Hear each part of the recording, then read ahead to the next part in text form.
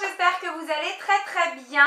Comme vous l'avez vu dans le titre, on se retrouve aujourd'hui pour la deuxième partie de ma foire aux questions vie privée. Je vous ai mis en ligne la première partie il y a quelques jours et vous avez été nombreuses à réagir positivement à cette vidéo. D'ailleurs, je vous en remercie. Ça m'a vraiment fait très très plaisir. Et vous avez d'ailleurs été très nombreuses à me dire que vous vous retrouviez beaucoup dans ma façon de penser, etc. Donc je trouve ça hyper hyper cool, ça me fait vraiment super plaisir. Donc je me suis dit tourner la deuxième partie assez rapidement parce que sinon je me connais, je pense que vous commencez à me connaître aussi. Euh, ça va durer des mois et euh, vous n'en verrez jamais la couleur. Donc voilà, j'ai un petit peu de temps, là je sors du travail. Donc je m'excuse si jamais euh, la vidéo n'est pas très fluide, que mes propos sont un peu incohérents. Je suis hyper fatiguée, je vous ai tourné une vidéo juste avant et honnêtement j'ai eu beaucoup de mal. Donc, donc voilà, toutes mes excuses. Donc, je vous mettrai le premier, euh, enfin le premier jet, la première partie euh, de ma hum, foire aux questions, réponse à ma foire aux questions vie privée juste là. Je vous invite pourquoi pas à aller la voir dans un premier temps euh, pour éviter voilà de ne pas comprendre certaines choses ou voilà d'avoir les, les, réponses aux autres questions. Donc le lien sera juste ici ou s'il n'est pas là, il sera en barre d'infos parce qu'il y a de fortes chances que j'oublie aussi. Et puis on va reprendre les questions là où je les ai laissées la dernière fois. Donc, comment s'appelle ta meilleure amie? Alors, euh, autant vous dire que, enfin, j'aime pas vraiment ce terme meilleur ami tout simplement parce que j'ai eu des meilleurs amis et j'ai toujours été très déçue. J'en ai pas eu des tonnes, mais euh, bon, j'ai au moins eu deux meilleurs amis et j'ai toujours été super déçue. Pourtant, je suis pas quelqu'un qui demande grand grand chose en amitié, mais euh, par contre, je suis quelqu'un de très rancunière. Donc, c'est-à-dire que quand le point de non-retour est atteint, je ne fais plus marche arrière. Et donc voilà, j'ai été vraiment très déçue. Donc à l'heure actuelle, j'aime pas vraiment ce mot meilleur ami. Je dirais plutôt que j'ai de très très bonnes amies pour qui je donnerais beaucoup et euh, que j'aime du plus profond de mon cœur. Je ne sais pas si c'est vraiment très utile de vous les citer étant donné que vous, pour la plupart, vous les connaissez. Euh, ça sera vraiment Marion, Karen et Audrey. Je vous mettrai les liens de leur chaîne en barre d'infos, mais bon, logiquement, vous les connaissez. Donc Marion, Marion Beauté, Karen, Karen Outisha et Audrey, euh, Audrey Marshmallow, Miss Bully. Donc voilà, c'est vraiment c'est vraiment de, vrais, vrais amis. D'ailleurs, je remercierai jamais assez YouTube et la communauté YouTube beauté, je veux dire, pour, euh, ça. Euh, c'est une des raisons pour lesquelles je ne regretterai jamais d'avoir ouvert cette chaîne. Bon, il y en a d'autres, hein, mais, euh, mais, vraiment, c'est une des raisons principales. Parce que, parce que outre le fait d'être à la base simplement des personnes que voilà, je côtoyais parce que bah, elles faisaient des vidéos aussi, on avait des affinités et que voilà, on avait une passion en commun. Maintenant, ce sont de vrais amis. Je passe pas une journée sans avoir de leurs nouvelles et en prendre. Et, euh, et voilà, donc ce sont trois personnes que j'aime du plus profond de mon cœur. Après, bien sûr, j'ai des amis à côté. Euh, je pense notamment à ma copine Marjane. Mais euh, voilà, ça, reste ces quatre personnes-là. Après, honnêtement, j'ai appris à faire beaucoup de tri autour de moi dans ma vie. Et j'ai pas énormément d'amis. Je m'en plains pas, hein, pas du tout. Mais euh, voilà, je préfère avoir euh, voilà, 4-5 personnes autour de moi sur qui je peux compter que 15 euh, qui ne valent pas grand chose. Ensuite, un tag best friends. Bah non, vous verrez pas ça sur ma chaîne, je pense pas. J'ai fait pas mal de vidéos avec Marion, il y en a une... Je sais pas s'il y a une vidéo avec Audrey, je crois pas. Avec Karen, il me semble qu'il y en a une, le tag pile ou face, où elle est, elle est présente. Euh, on aura peut-être l'occasion d'en faire prochainement avec Karen ou Audrey puisqu'on risque de, se voir assez prochainement, enfin c'est prévu. Mais euh, pas best friends quoi. C'est un tag avec euh, mes amis, mes amis de cœur. Voilà, on dira ça comme ça. Lorsqu'on est dans une mauvaise passe, quels sont tes conseils pour ne pas baisser les bras? Alors, ça, je me rappelle très très bien de la personne qui m'a posé cette question-là, c'est Abby. Donc, si tu passes par là, je te fais un gros bisou. je sais que je vais parler général, mais je vais voilà, parler pour toi parce que je sais que tu as vécu des choses pas très très faciles euh, ces derniers mois. Je sais pas si j'aurais vraiment des conseils pour relever la tête après de, des épreuves aussi difficiles. ou Voilà, mais je, sais que je dis très très souvent, chaque bas est suivi d'un haut. Et euh, voilà, après la, après la pluie revient le beau temps. Euh, peu importe ce qui peut nous arriver, je pense que avec le temps, euh, la douleur s'atténue. Je dirais pas s'efface, mais s'atténue. Et euh, voilà, il faut essayer de garder le moral en se disant que bah, même si la vie, vous réserve les pires euh, coups, les pires surprises du monde, elle vaut quand même le coup d'être vécue et que, que, voilà, il faut, faut pas baisser les bras et se dire que il y aura forcément un mieux derrière parce qu'il y a toujours un mieux, même si on broie du noir et qu'on voit la vie en noir et qu'on pense que voilà, on est au bout du bout, il y a toujours un mieux, c'est une obligation. Euh, donc voilà, ça serait de, de garder le moral et puis comme me dirait Audrey, euh, si la vie ne te sourit pas, souris-lui. Donc voilà. Ton plat préféré? J'en ai pas vraiment. Il faut savoir que je suis quelqu'un qui adore manger. Je pense que vous l'aurez compris. Euh, mon plat préféré, dans un premier temps, je dirais que j'adore la purée. la purée, c'est ma vie. Euh, après, mon plat préféré, qu'est-ce que j'aime vraiment manger? J'adore le McDo aussi, pas bien, je sais, mais j'adore le McDo, hein. je suis honnête avec vous. Je suis pas là pour vous faire rêver, euh, il y a la youtubeuse parfaite qui ne croque que dans des brocolis, voilà, non pas du tout. J'adore le McDo et euh, mon plat préféré. J'aime beaucoup le tagine de pommes de terre, olives, citron confit et poulet. C'est un de mes plats préférés aussi.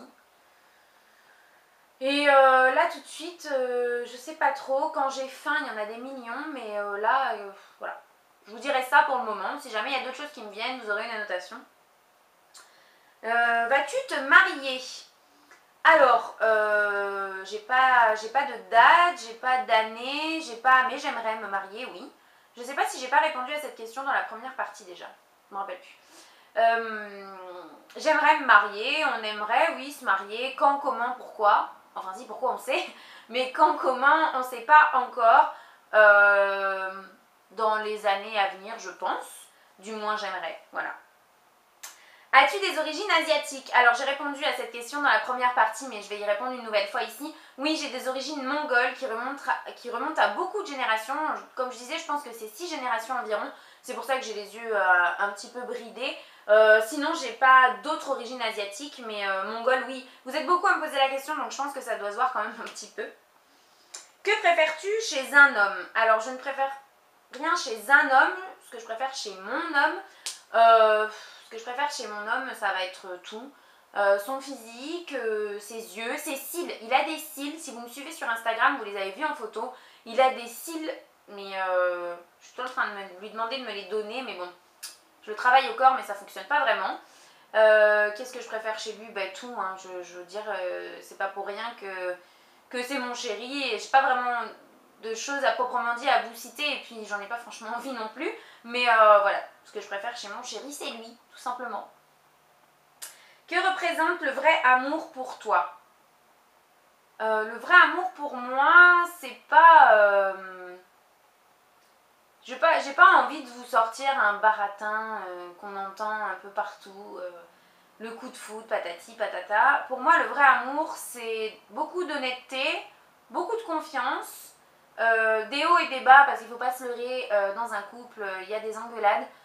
honnêtement, si vous n'êtes jamais engueulé avec votre chéri, votre mari, votre copain, dites-moi ça en commentaire, mais c'est curieux. Ce qui représente le vrai amour pour moi, c'est tout ça, la sincérité, je pense que c'est super important, l'honnêteté. Nous, personnellement, on se dit tout et on se dit pas que des choses qui nous font plaisir. Euh, et euh, voilà, c'est de dire les choses, de rien garder pour soi, parce qu'au bout d'un moment, si vous gardez pour vous, euh, il y a de fortes chances pour que ça coince, ou voir que ça pète fort. Mais ouais, c'est... Hum, puis c'est beaucoup d'humour aussi, beaucoup de moments de rigolade, beaucoup de liberté parce que euh, dans un couple, lorsqu'on s'étouffe, ça finit aussi toujours par, euh, par coincer. Hein. Voilà, beaucoup de liberté, de la confiance, de l'honnêteté, de l'humour et de l'amour, bien sûr. Alors, euh, pourrais-tu nous raconter ton expérience avec le permis de conduire? Alors, je pourrais vous raconter mon expérience avec le permis de conduire, ça ne me gêne absolument pas. En revanche, étant donné que ça a mis plusieurs années chez moi, ça pourrait prendre très longtemps. Donc, en bref, euh, j'ai passé... Je me suis inscrite pour passer mon permis à 17 ans, j'ai passé mon code à 18 ans, j'ai eu mon code de la première, euh, du premier coup. Euh, j'ai commencé mes, heures de conduite, j'ai passé mon permis une première fois, je l'ai raté. J'ai complètement laissé tomber parce que ça m'a découragée et puis que j'étais pas forcément très motivée. J'ai repris quelques années plus tard pour finir par donc reprendre des heures de conduite, repasser mon permis, le relouper une deuxième fois. Oui, je suis une cas sociale. Euh, du coup, comment ça s'est passé? Ah oui, ben mon code n'était plus valable puisque ça faisait plus de 3 ans que je l'avais. Donc j'ai dû repasser mon code pour euh, le revoir du premier coup. Euh, et, j'ai passé mon permis pour la troisième fois euh, en octobre, donc ça fera bientôt un an et j'ai eu mon permis. Donc voilà, tout ça pour dire que je me suis inscrite pour la première fois au code, j'avais 17 ans et j'ai eu mon permis à 23 ans. Donc voilà, il n'y a pas, honnêtement pour le permis, si vous êtes en train de le passer ou vous allez le passer, dites-vous une chose, il n'y a pas de scénario classique pour le permis, chacun va à son allure, chacun va à son rythme, j'en suis la preuve. Euh, quand tu étais petite, quel métier voulais-tu exercer? Ça, c'est Yousra qui m'a posé cette petite question. Je fais de gros bisous, ma puce. Quand j'étais petite, je voulais être esthéticienne, comme ma maman et comme ma mamie. Voilà. Rien de compliqué du tout. Euh, je, voulais, je voulais être dans l'esthétique, absolument. Euh, bah, j'ai toujours vu ma deux générations avant moi travailler là-dedans, donc, donc voilà. Quelle est la dernière musique que tu as écoutée? La dernière musique que j'ai écoutée, ça doit être London Grammar, je pense. L'album de London Grammar. Et euh, j'ai aussi écouté euh, l'album Lunatic de Booba récemment. C'était euh, hier ou avant-hier, je crois, avec mon chéri. Pourquoi pas un tag avec ton chéri? Alors non, je suis désolée. comme je vous le disais dans la première partie de ma, des réponses à cette FAQ, mon, ma vie privée reste privée, mon chéri fait partie de ma vie privée et encore plus que n'importe quel autre sujet. Donc non, c'est vraiment pas le genre de vidéo que vous aurez l'occasion de voir sur ma chaîne. Je suis désolée si, euh, si euh, la curiosité de certaines euh, ne sera pas satisfaite, disons. Je sais pas si cette phrase est très française, mais c'est pas grave. voilà, non, c'est pas, pas le genre de vidéo que vous verrez sur ma chaîne, vraiment pas, c'est pas mon genre du tout. Habitu avec ton chéri Si oui, ce n'est pas dur de concilier YouTube, vie privée et travail Alors, actuellement, on ne vit plus ensemble. On a vécu ensemble il y a presque deux ans maintenant. Euh, à l'époque, je ne travaillais pas donc euh, parce que j'avais des petits soucis de santé. Donc non, c'était pas difficile. disons que je faisais ce que j'avais à faire la journée et lorsqu'il rentrait, bah, voilà, je faisais en sorte de poser l'ordi et de passer du temps avec lui. À l'heure actuelle, euh, je suis très souvent chez lui, donc entre chez lui et chez moi, entre mon travail, entre YouTube, j'avoue que c'est pas forcément très très simple, encore plus en ce moment parce qu'avec le défi des 30 jours, une vidéo par jour, entre filmer, les monter, remplir les barres d'infos, les programmer, répondre à vos commentaires, c'est beaucoup de boulot. Mais encore une fois, je me plains pas du tout, hein, j'aime beaucoup faire ça. Euh, c'est un petit peu compliqué, ça demande de l'organisation, mais je pense que je m'en sors pas trop trop mal. Je crois que je vous ai dit ça aussi dans la première partie de la FAQ.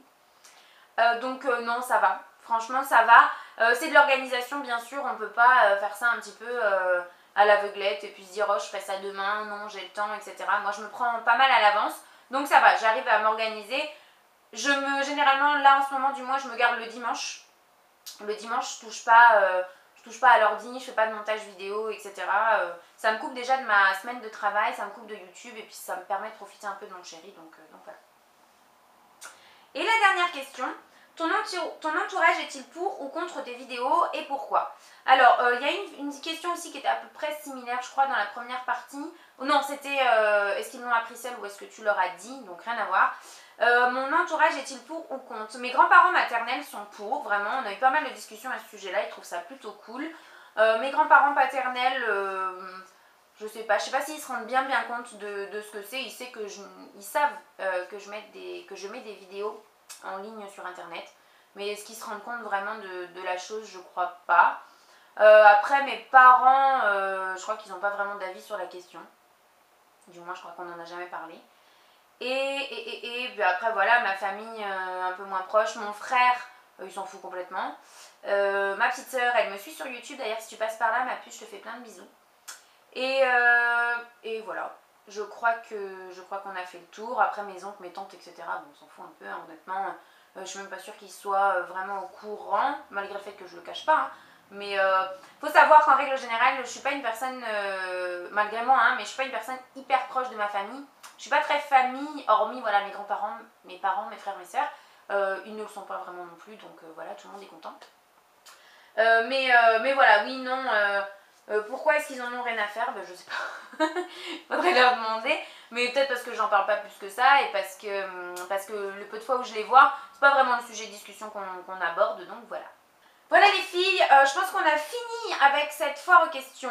Enfin, depuis le temps que je euh, l'avais lancé, il était temps. Bah, j'espère que ça vous aura plu. Cette partie sera un petit peu plus courte. Du coup, j'ai pu m'étaler un petit peu plus sur, sur les questions et donc sur mes réponses. Je trouve ça un peu plus sympa. Euh, voilà, j'espère encore une fois que ça vous aura plu. Je vous fais de très gros bisous et on se retrouve demain. Bye bye